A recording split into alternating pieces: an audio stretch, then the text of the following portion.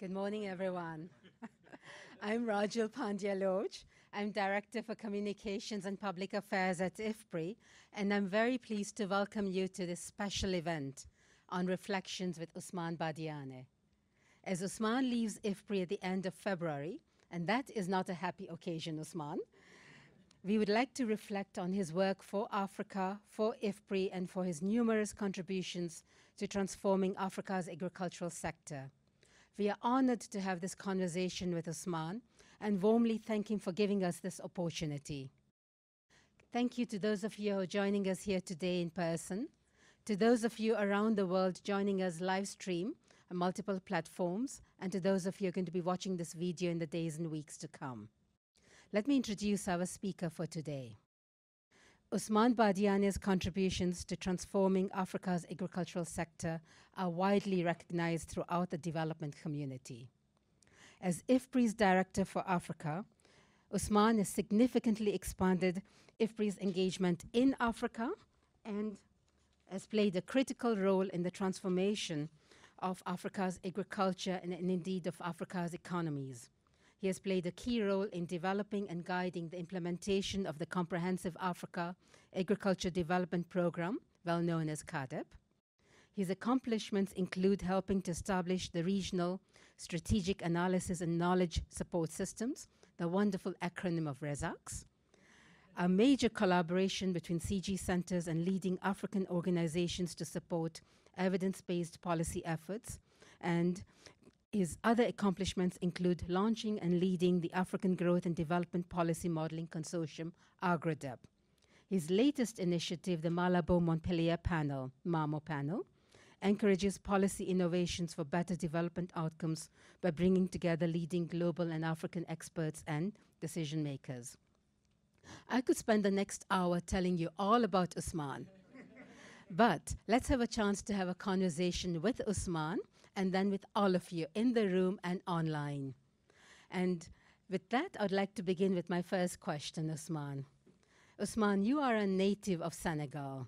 You have received your master's and PhD in agricultural economics from the University of Kiel in Germany. Will you share with us a bit of your background and how you made the decision to study in Germany from Senegal? Thank you. Uh, thank you, Rajul, and thank you to everybody who is here, uh, the friends and colleagues who've worked with me uh, over the years. But you really couldn't get a better uh, combination than the uh, first DG of IFPRI who hired me, Dr. John Mellor, and uh, current DG of IFPRI. So between those 30 and something years that I was at IFPRI to have them here is is really great, and many of the colleagues here. So thank you very much for this how did I get to Germany? um, I was born and raised in the groundnut basin. You would call it the peanut belt here in the US, uh, in Senegal. And in high school, uh, I majored in biology and math. And most of the kids uh, in that track either go to study medicine or pharmacy or, or agronomy. Uh, medicine and pharmacy were out of uh, question for me. It would take too long to make money to support the family, so it was probably agronomy. But then I was selected for a scholarship to go to France uh, before I finished my high school. If I were to make the, um, um, the high school diploma, at some point it didn't work. Uh, they gave it to somebody else whose parents were much more influential. And I went in there and I protested, uh, and I was asked to come in. And I went to the uh, office and they gave me a form and they said, look, you can go and study anywhere you want in Europe but you have five minutes to do that. and then you will be surprised. Uh, in the 70s, the strongest soccer team in Europe was Borussia Mönchengladbach from Germany. right? There you go. then in 76, uh, Willy Brandt came to Senegal, who was then the chancellor from Germany. Both made really, really an impression on me. So, and I said, I'm going to go to Germany. Okay, uh, that's how it started. And I went down and I figured out, geez, you don't speak German. So I rushed back up again, and uh, uh, out of breath, I said, no, I have to change this. I have to change this because I don't speak German. And the guy was just laughing. He said, don't worry, you know, you'll, you'll study German when you get there. So that's how it started. So uh, agronomy was there because of where I was born. Germany was because of a great soccer team and a great chancellor. The powers of soccer for development careers. so you started your career at IFPRI in 1989, and I remember we were at IFPRI together. I was in very young stages, and you had come, uh, I think, from your uh, background in Germany. You transitioned to the World Bank in 1998, and then you returned to IFPRI a decade later. What took you away from IFPRI and what brought you back to IFPRI? Uh, it's, it's, good. I was just referring to Dr. John Mellor, who hired me from Germany uh, in August 89, uh, and I started here uh, as a research fellow. I was uh, lucky enough I didn't have to go through the RAs and the postdoc. Uh, was a young research fellow here. And after 10 years, I really plateaued here at IFPRI. I was too young to go into management, uh, division director's job, which was uh, uh, made possible for me as an option, but I couldn't imagine myself dealing with contracts and budgets and this kind of things. So I just, I just couldn't do that. Then Hans Binswanger, late Hans, became uh, director at the World Bank and he was looking for new blood basically, right? So he came and asked me uh, to join uh, the, the World Bank. So I decided to go. Uh, although 10 years prior, I could have been a young professional, but I thought it was too early to go to the bank. So when I was going, I said to myself, you know, you go to the World Bank and uh, you get $2 billion to Africa and you leave the bank. So that was basically my, my understanding. And that's very important. Uh, for me, if you're an American, you want to take money to Africa, you go to USAID to invest and support Africa. Uh, if you're British, maybe you go to DFID, right? If you're Senegalese, where do you go? So it's the World Bank, AFDB, and others other places where you could do this. So I was very, very convinced. So if I can invest $2 billion in Africa with the World Bank, then it's time for me to go. And I failed terribly. Uh, I got promoted too early outside, out of project. So, but I still got to $200 million about uh, in my first three years. So, so I then came back uh, to IFPRI on loan from the World Bank. Uh, one of uh, John's successors and yours predecessors, Joachim von Braun, signed an MOU with the African Union in 2003. And he called me and I said, look, um, we just signed uh, this MOU to support the African Union for the implementation of CAADP the Comprehensive Africa Agriculture Development Program, and I want you to be the one to do it. I know you have the academic background with us, and you've done some project management at the bank. And I said, I know it's a tough choice. Uh, you're at the World Bank, uh, uh, you know, up there, uh, certainly good prospects. Uh, living that is not going to be easy. But if you tell me, get back to me in two weeks, that really would be great. Uh, and now I come to the reason why I really made the move. What he didn't know then is that CAADP for me, and before CAADP actually, or broader than CAADP, was the NEPAD initiative. African heads of states standing up and saying where we are today has nothing to do with colonization, has nothing to do with the global world order, has nothing to do with anything else. We take responsibility, we're going to be accountable, we're going to change the way we do business, right? For me, that was amazing, okay? And when I was at the bank as an advisor to the WP, I was the front person for CAADP, and I saw that the global community was not ready for an Africa that says, step back, let us put our agenda together, and then we work with you. Uh, there was zero credibility around the agenda. So, uh, and I said to myself, if I sit at the World Bank as a non-American, the best I could get is a VP for Africa. What can I do for Africa? Uh, if I can get the African Union and the 50-something member states to succeed in this endeavor and change the game, that is more than I could ever dreamt of at the bank. So uh, that's what going through my head, talking to Joachim. I said to him, look, Joachim, I don't need two weeks. I just need to talk to my wife, and I get back to you. So I, I, went home and, and, and I talked to my wife. She said, look, it's your professional life, really, and I trust you to do what you think is right. So I called Joachim the next day, and I said, I'm coming. So that's how it started an amazing story, the, dev the developments in your life and your passion and inspiration for Africa. So that brings me to a question that you've partially answered, but let me give you an opportunity to reflect more on it. Where is this passion to work on and for Africa coming from?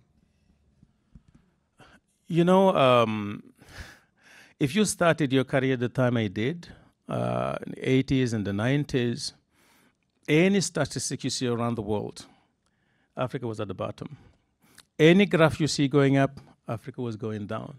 Okay, but also uh, you walk around, you see the people. You know, you want things to change.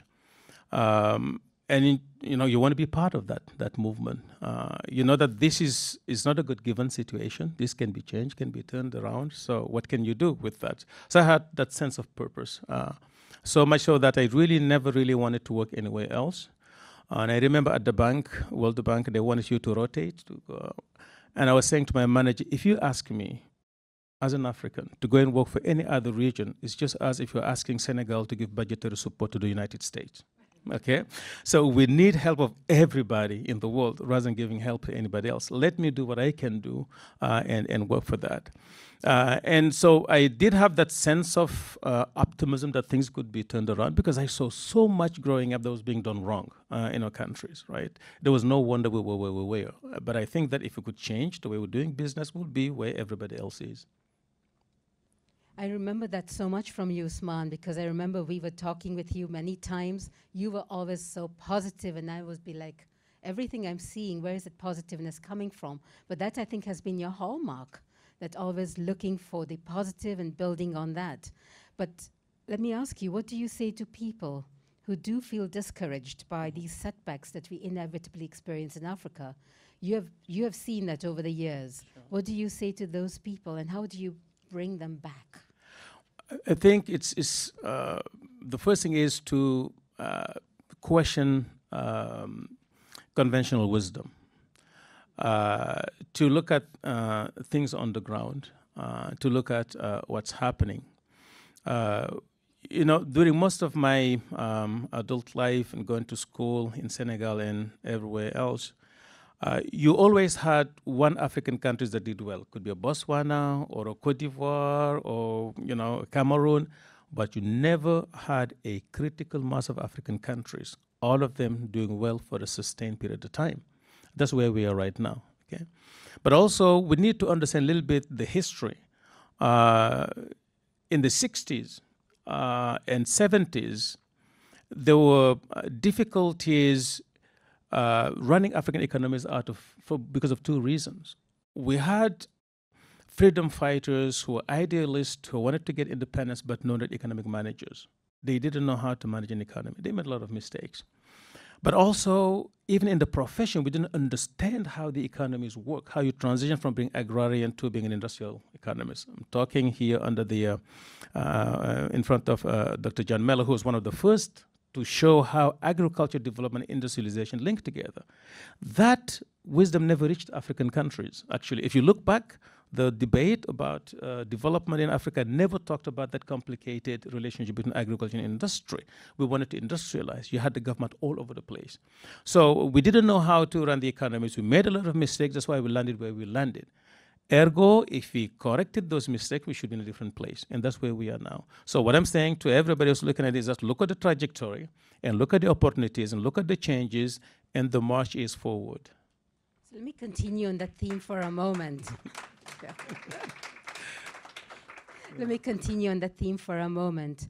Ousmane, where do you see as the key levers to transform Africa today and what are the opportunities that you'd want Africans to seize on? Okay, very good. Thank you.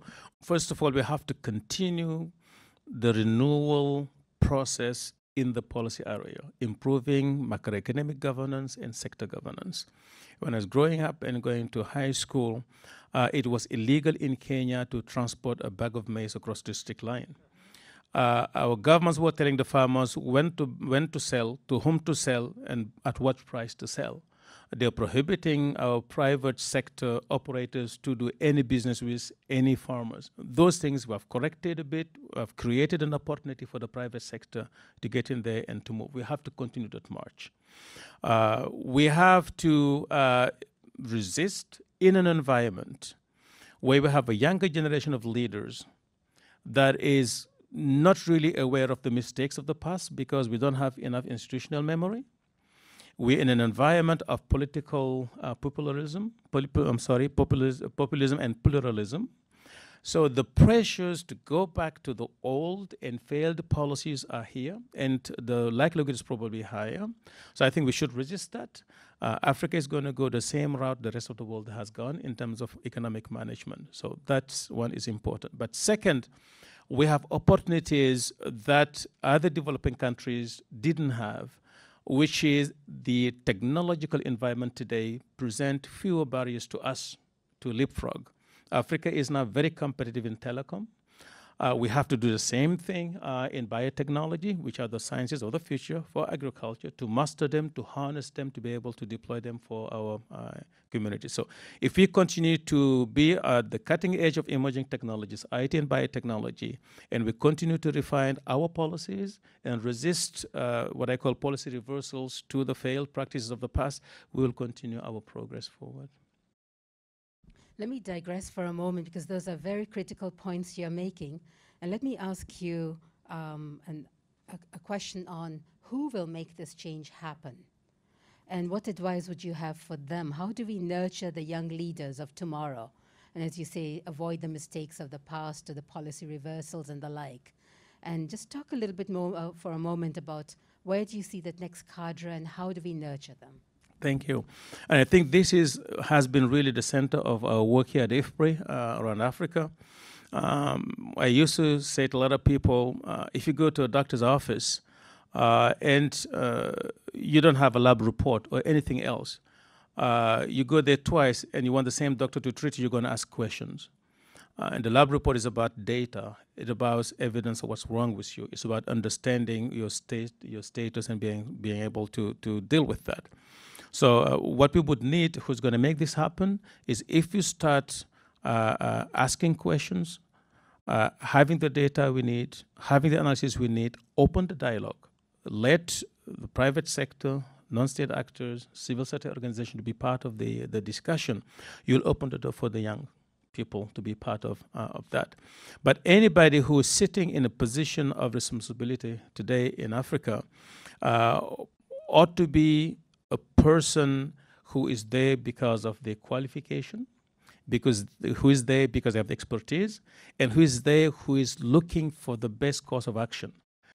If you have that, it's not a president, it's not a prime minister, it's not a governor.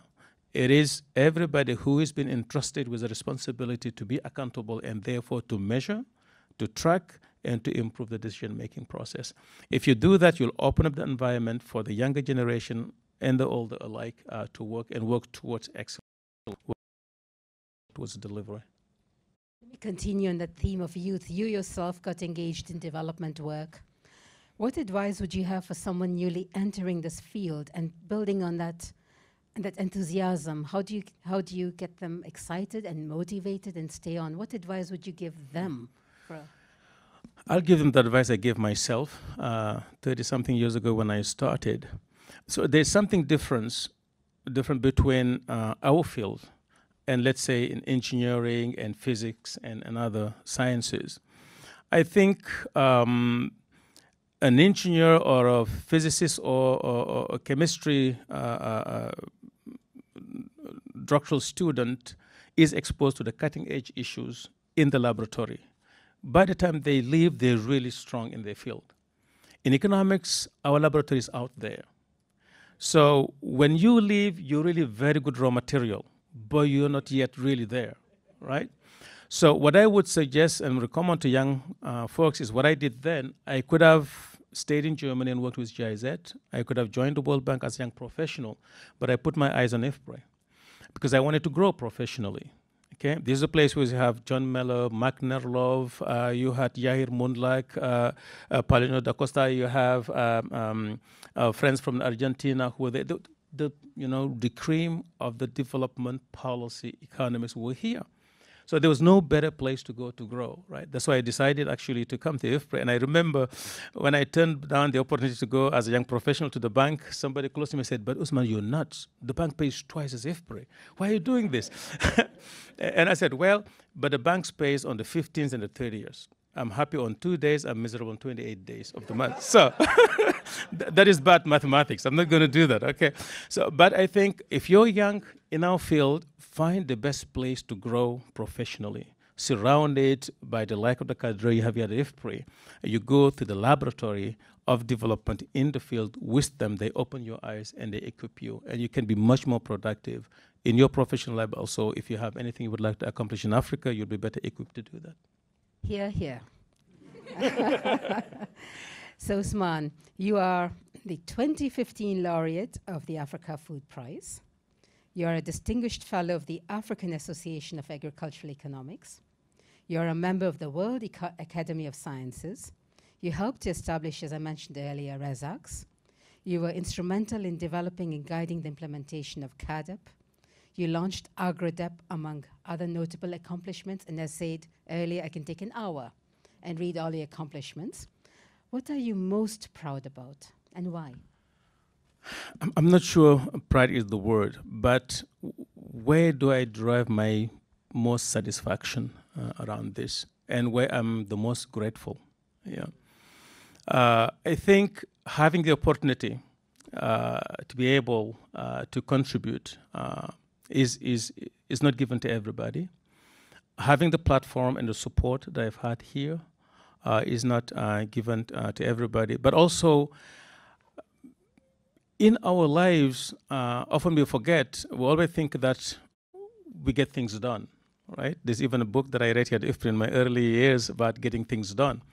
But you know, everything we do in life uh, is related to us having to be in one place at a given time and other people taking certain actions and decisions at a given place in a given time, and all that coalesces to lead to the outcome to where we are. So it's really never, never what we do, but it's always about what everybody else and time and space play in what we do. So that's why I wouldn't call this taking pride, but being grateful and being satisfied that I had these opportunities uh, to be in a place at a time uh, that I could do this. If I, let's say, 20 years earlier, it was would have been very hard for me to do much in Africa okay? Uh, but perhaps 20 years later, I would have probably do greater things, I wouldn't be needed, right? But I was at that time in the place where I could do things, and I'm very satisfied, and I take, uh, uh, uh I'm grateful that I had the opportunity to do that. Uh, being in Africa, helping the African uh, governments have a voice in the global development agenda was very important.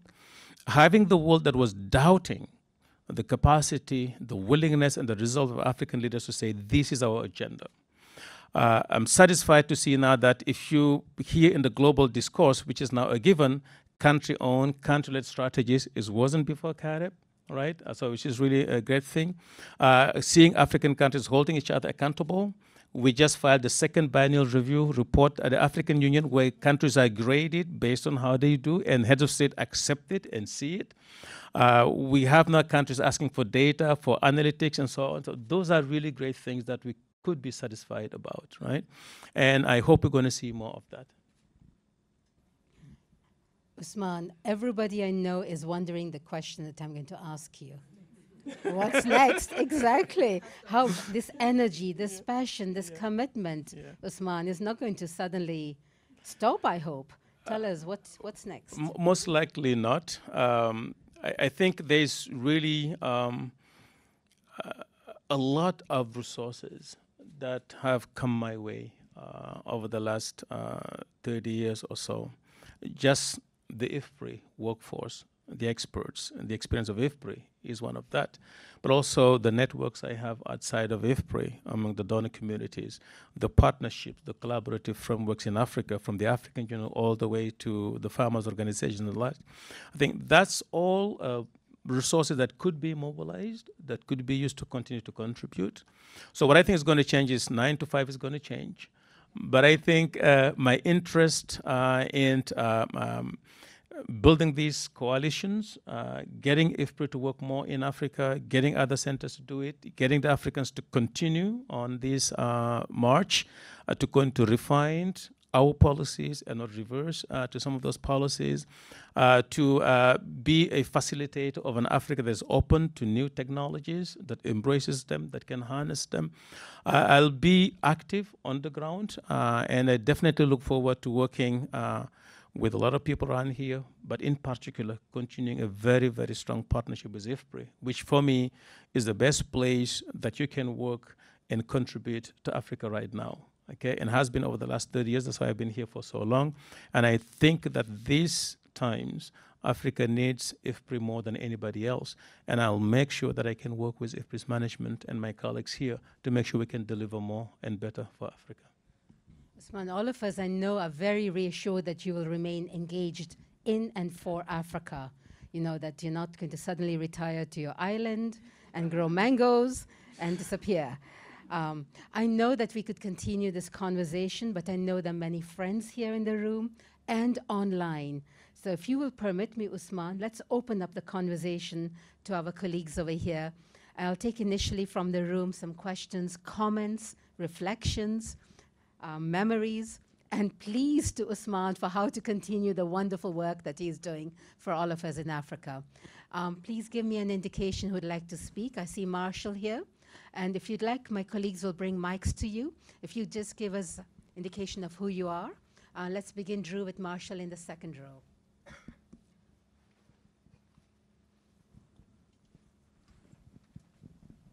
There's another mic coming. Ousmane, thank you so much uh, for all you've done. I'm Marshall Matz uh, with Agra, um, and I've been working with them since they founded just over 10 years ago, commuting to Africa. I've caught the passion that you have. Um, here's my question to you, and a little more specifically, in addition to thanking you for helping start the organization. We're currently working on our 2030 plan.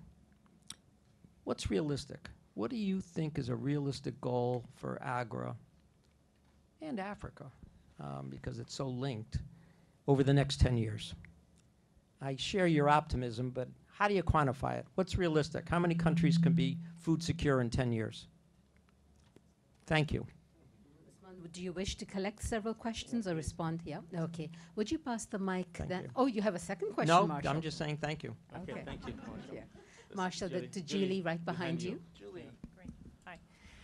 Um, Julie Howard. I'm at the Center for Strategic International Studies. And Ousmane, I want to thank you for all of your partnership over the years. You were so instrumental, I think, in getting the U.S. policies, U.S. foreign assistance, to focus on country ownership and on CAADP. Thank you for that. So thank you for what you've done so far, and thank you in advance for what you will do in the next phase. Thank you.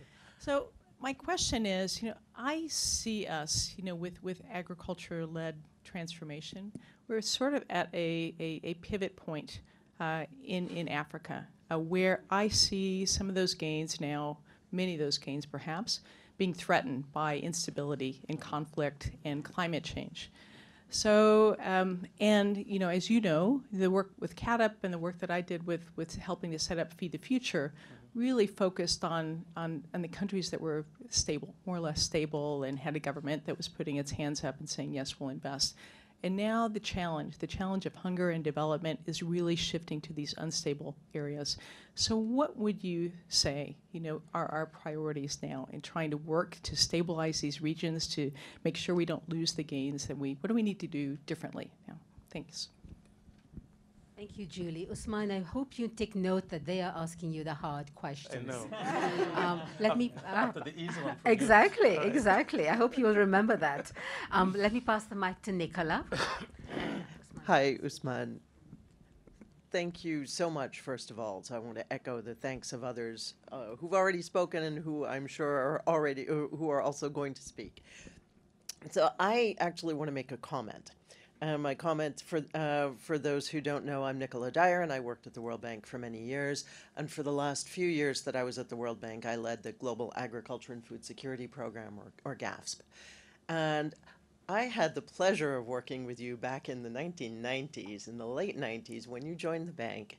And uh, we were in Gabon. I was in Gabon. I had opened the World Bank's office there and was working on the country assistance strategy, it was, as it was called, and had worked with a, a stream of agriculture experts who were really focusing on projects and delivering money.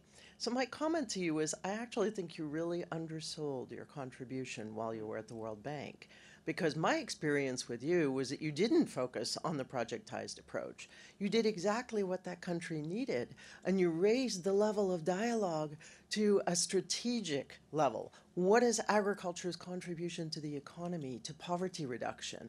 And that was a kind of dialogue that wasn't happening in country. And I have a feeling that you did that in many other countries on the continent besides. So, in addition to that 100 million that you so modestly mentioned, I actually think that you, by virtue of your strategic focus, help to channel an awful lot more resources and perhaps even more importantly, that were effectively spent because you can throw piles of money, but if they're just being shot against a wall without that strategic focus behind it, then it's not going to achieve the same kind of results. And fast forward, I would be remiss if I didn't mention your incredible contribution to GAFSP, which I was not fortunate to work with you on that, but I was fortunate to be able to see the results of it. The linking of CAADP to GAFSP so that GAFSP could actually channel those funds out to Africa. So instead of 100 million, I would say that you got at least 600 million out to Africa. so congratulations. Thank you. Thank you, Nicola. Let me give Ousmane a chance to respond, and I'll come then to the online audience if there is, and then to this side of the room. Thank you, uh, Marshall. Thanks for, for that question. Uh, it's going to be hard for me to say what AGRA ought to be doing. Uh, it's, it's, a little bit uh, difficult uh, to do that in an audience like this without having discussed with them what their options are. But I do think that uh, we look at their track record, how strong they have been in the private sector, helping develop uh, not just uh, businesses and entrepreneurs, but also working with countries in improving the regulatory environment uh, for private sector. I think that is an important field uh, that have uh, they have you know achieved things that are respectable. they are now the main voice, agenda setting agency in Africa around policy. I think they should continue that and to push it. Um, if I were to ask perhaps for an additional thing that I might want to do a little bit more is to try and um, galvanize the expertise in Africa and work with uh, the local expert centers to bring them in, crowd them in to be part of the agenda setting and the discussion. Too many universities are on the sideline, uh, too many great centers of knowledge are on the sideline, and I think that they could probably uh, work on that a little bit more. But uh, the track record is solid, and I have no question they'll continue to be a driver uh, in Africa, absolutely. Yeah, I, will tell them. I talk to my sister very often, Agnes. So that is uh, very good. So and I know her very very well. She came back to Rwanda to head one of my projects when I was at the World Bank there, and we've known each other since then. She's a very capable woman, and I have no question that she will continue to lead that uh, very very strongly and efficiently.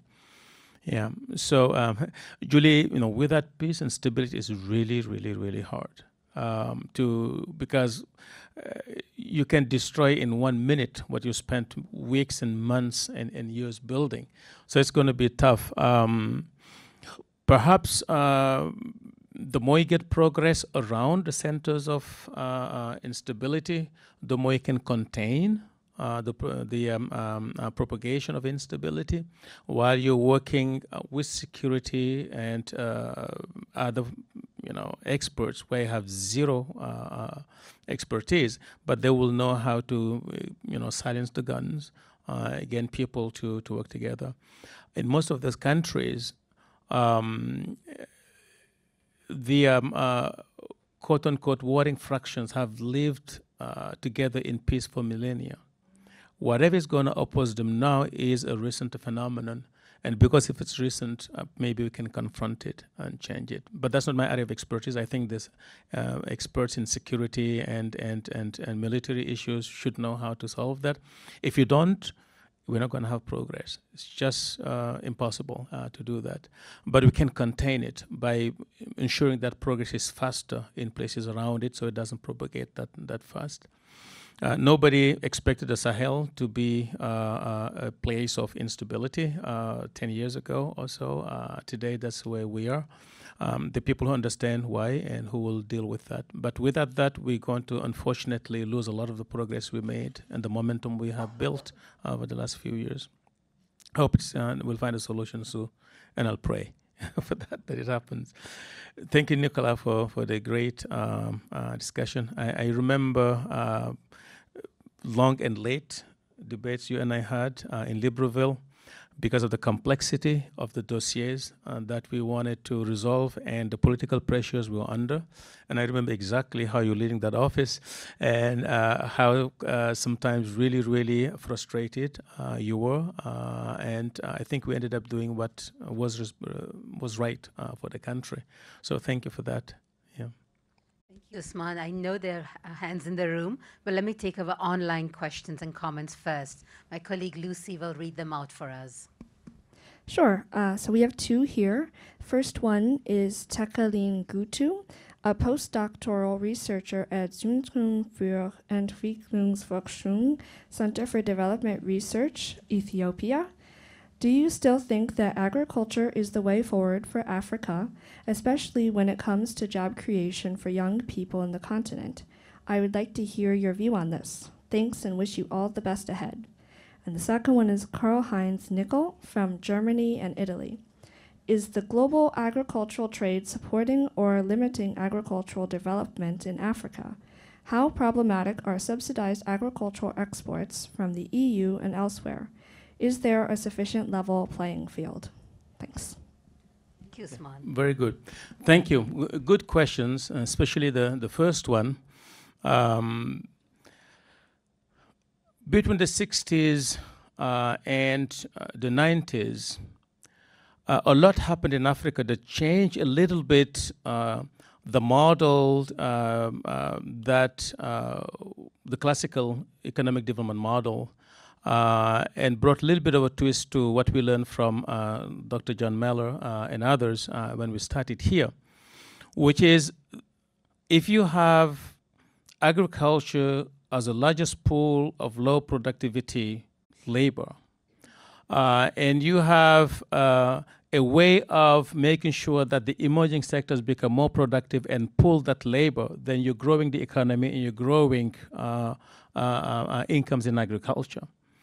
So, in a context like that, in a dual economy model, agriculture versus non agriculture in general, you can drive agriculture as a main uh, sector of development and uh, job creation uh, engine and income.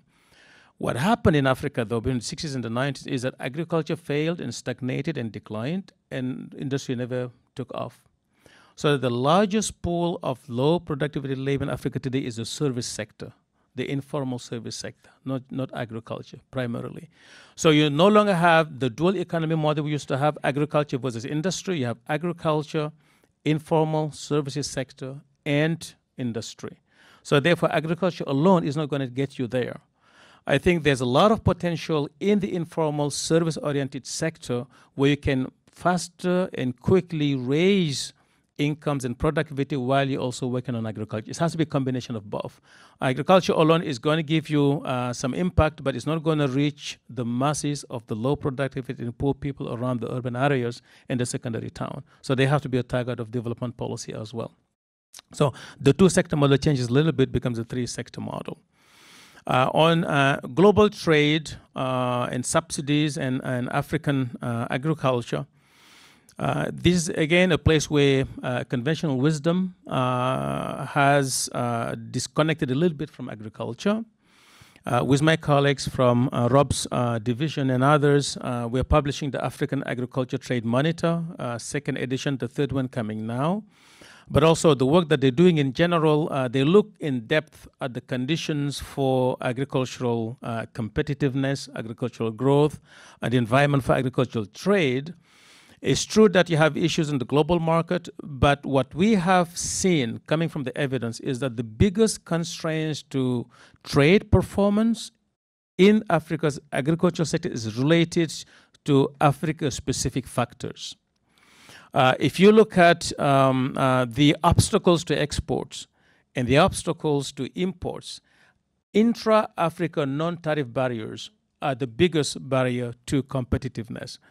Of course, uh, easier global environment is going to be easier for African countries, but for now, uh, the cost of doing business as an exporter, the cost of doing business as an importer, the regulatory environment, the policy issues are a bigger constraint to export competitiveness than subsidies from other countries right now.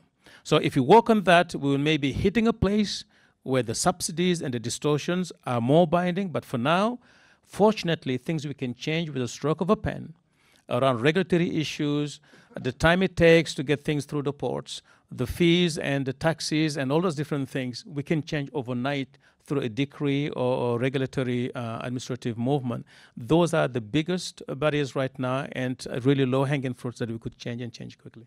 And from your lips to Africa's policy leaders. Uh, let me come back to the room, and I know there were hands on this side. Um, Joyce first. Drew, if you could give the mic to Joyce in the third row, and then I'll come to Rob here. Thank you very much. Um, kudos to IFPRI to get uh, an hour of Ousmane's time to share with us um, his reflections. I will hold any um, complimentary uh, comments for maybe at, during lunch. Um, because I too could spend more than an hour talking about that. I've worked with Ousmane, and the breath of fresh air of his comments again this morning of what is possible in Africa is greater than what is not possible is a spirit that I share with him and have shared with him for a very long time. That explains that we've worked together on more than one occasion. At this moment, as you're reflecting um, and giving such wonderful guidance to all those that are hearing this, um, I really would appreciate your reflection on how now the capital markets development can play a role in bringing economies together and launching them forward. A rider to that question is the observation of innovation around telecommunications in Africa. What we are, we in the West, amaze at with Venmo and PayPal and and and and all of those fintechs, um, has been there in Africa, innovated in Africa, to the point where the IMF doesn't know whether or not they regulate uh, money transfers on via telecoms, and the central banks don't know. And it, it's a it's a huge innovation, new industry that was created, and the policy gap. I think that in your in responding, if you can focus on the fact that there's cash on the in the ground, on the ground in Africa, and how capital markets development can really bring Africans literally to own their future.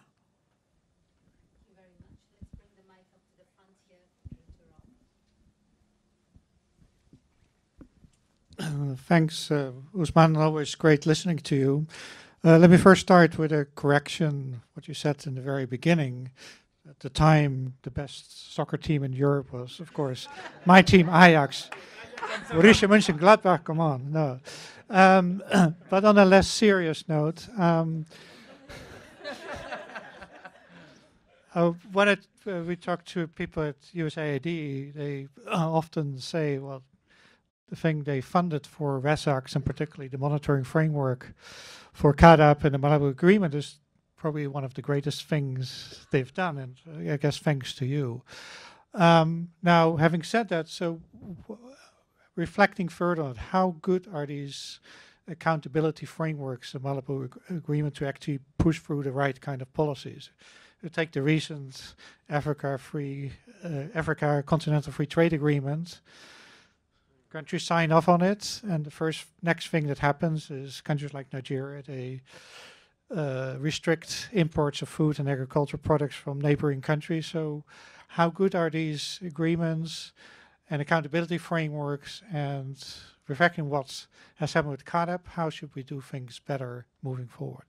Thank you, Rob. And uh, Will Martin, you ha- also wanted to make a comment. The mic is coming to you. Yep, Thanks, thanks very much. Thanks, Ousmane. Wonderful presentation. I think um, one of the credits you didn't claim, you know, after seeing you um, in Nanjing in the park, um, I th- I'm sure that all of China's interest in Africa comes from your magnetic personality and the response of the uh, of the of the audience. Um, but uh, more seriously, I mean, the demographic transition in Africa is proceeding quite differently or seems to be proceeding quite differently from, from many other regions. And I'm just wondering where you see the implications, uh, how you see that playing out, and what you see the implications. Thank you. Thank you. Very good. Thank you. Um,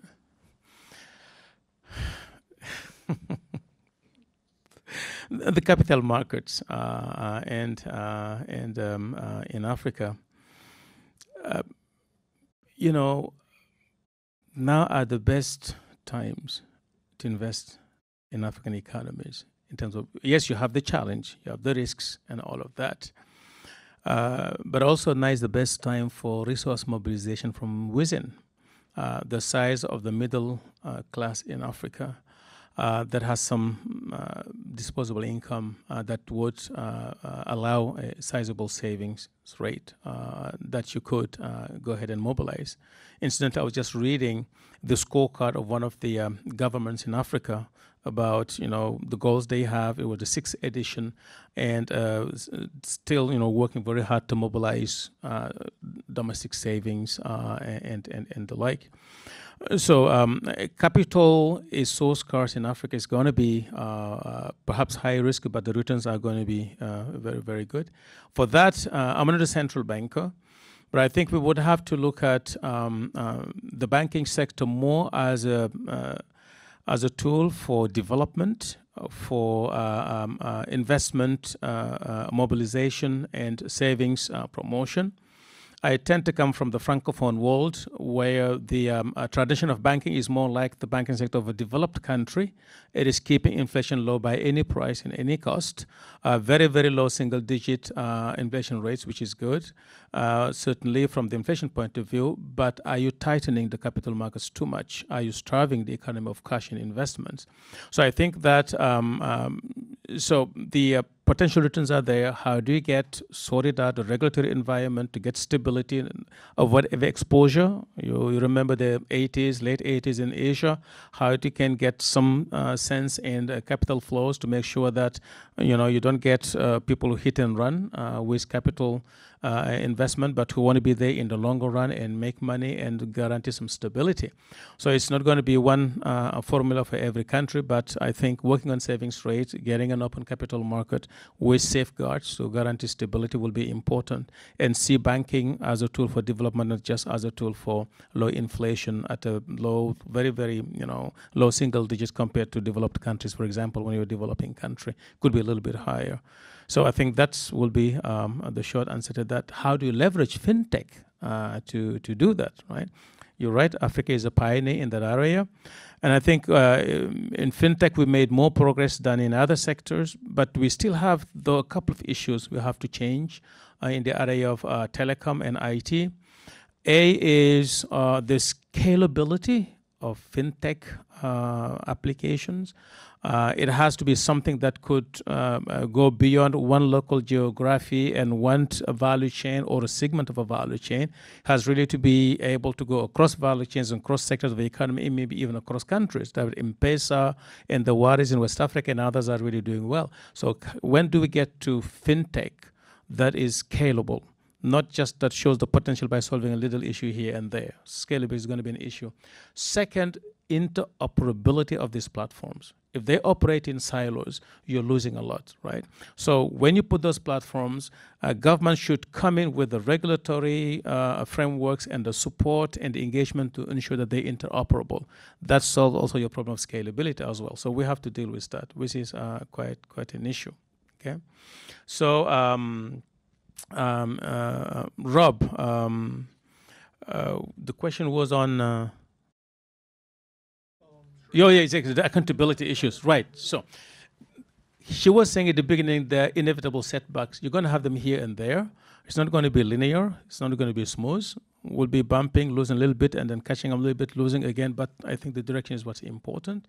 That Nigeria signed it is very important. You have a tool now to hold them accountable to, to change that. Uh, but we're a long way from uh, uh, uh, enforcement and implementation of it. The modalities haven't been worked out yet. Uh, the implementation rules, uh, the instrument, there are a lot of things that needs to be worked out. but I have no doubt that the environment for trade is going to be better just because of the cost of not doing so are going to be so palpable. Nigeria is now struggling also with some of uh, the um, implication of the trade measures. So I think between uh, the voices that will ask for accountability and the implication of bad uh, behavior will keep us on that trajectory, although we may lose altitude from time to time in one place or the other. But I think we'll, we'll be doing, doing very well. Yeah. Yeah. You know, um, it's a challenge, uh, as we know, but also it's, it's a huge potential. Uh, younger people, uh, especially what I uh, see uh, in Africa, but also somewhere uh, outside, are much more flexible, much more open to new ideas, much more um, willing to, to take risk because they look forward. They tend to be also more optimistic than the, the older generation.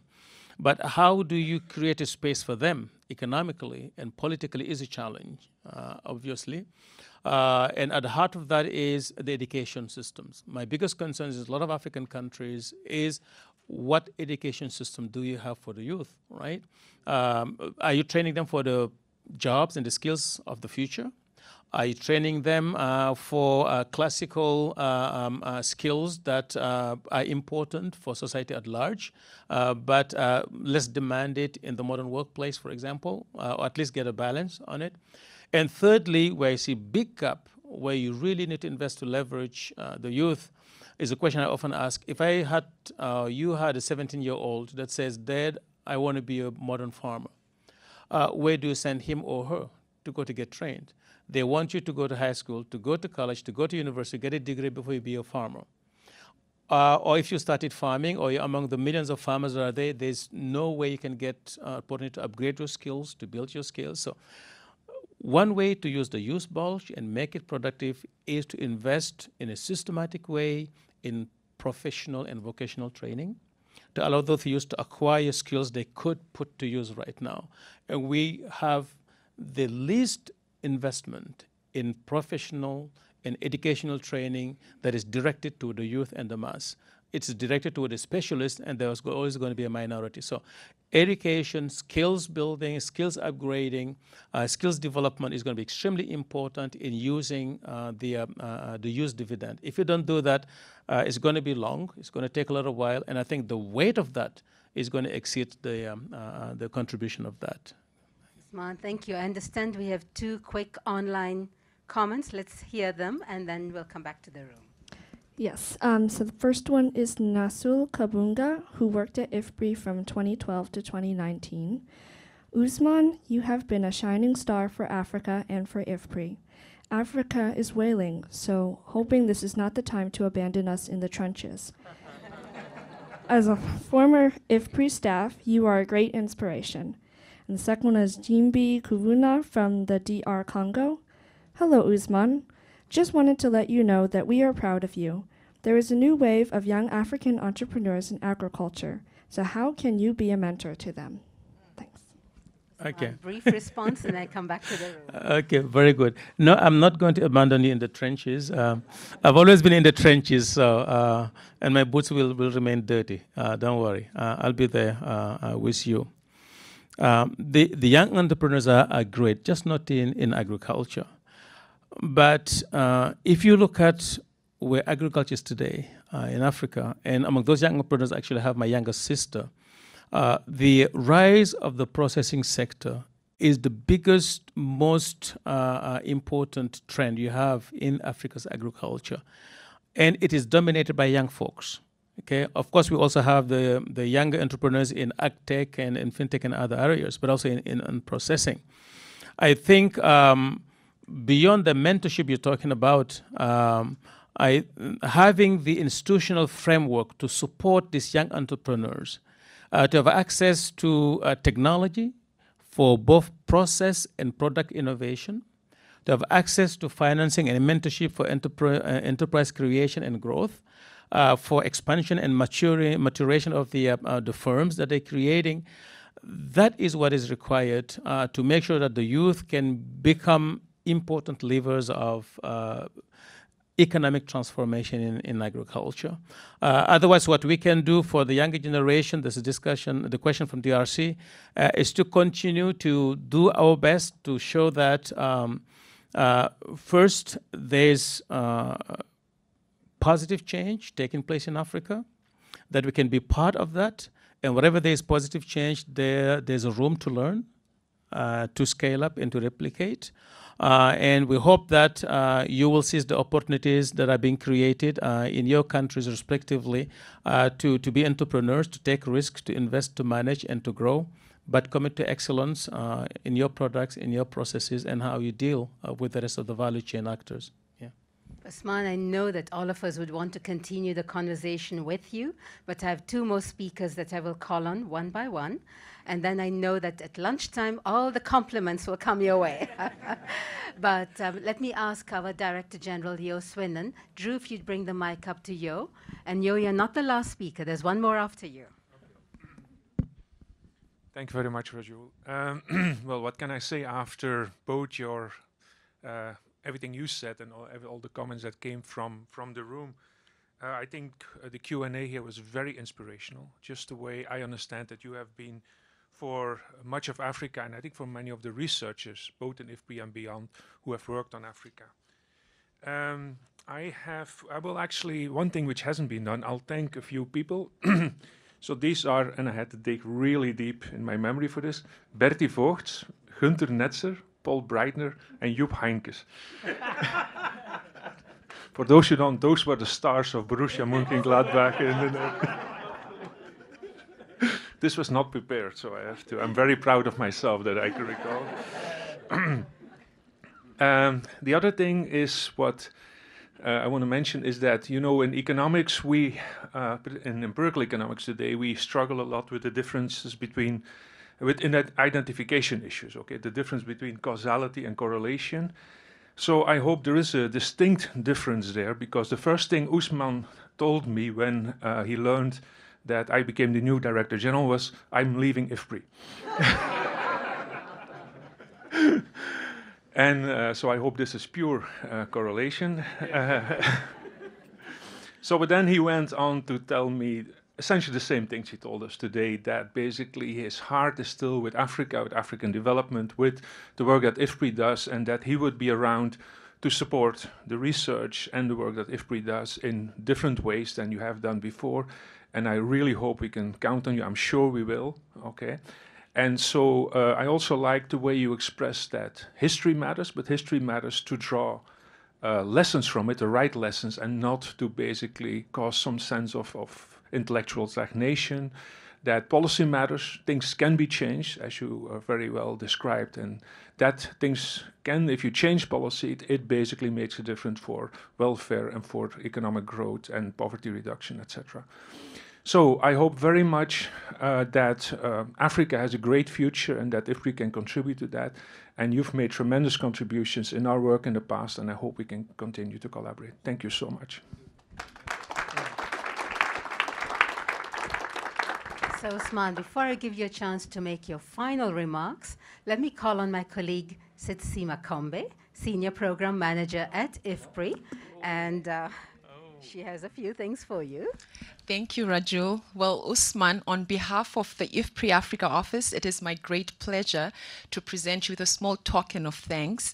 It includes farewell messages from your staff, colleagues here at IFPRI, also farewell messages from partners, from friends, mentees, and people that you've inspired throughout your journey of contributing to Africa's agricultural development. So thank you very much, Ousmane.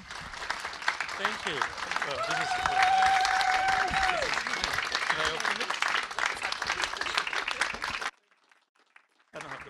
No. Ousmane, I give you a chance to give your not final, but almost final reflections, words for all of us. Okay.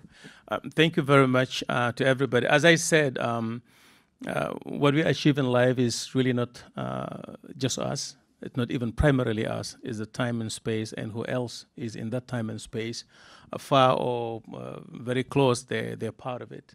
Uh, you may wake up with your plans and intentions, but your action depends on somebody else's action.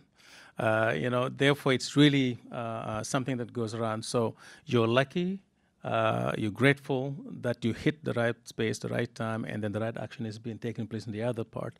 So many of you have been part of that uh, environment. So thank you for it. It is it is it is great.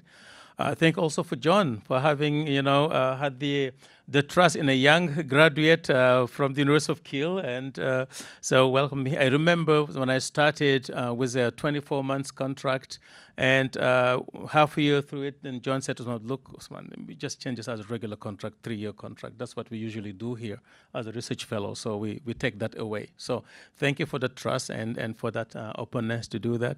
Uh, thank you, Jo. I mean, for me, IFPRI has all been about Africa it's really uh, not IFPRI primarily, but it was the best place to contribute. And it's still the best place uh, to contribute.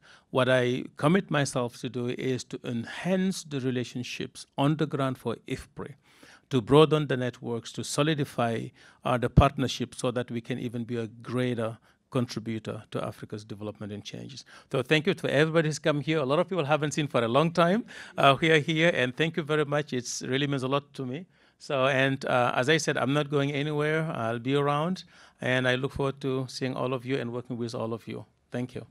Colleagues, please join me in thanking Ousmane and paying tribute to him.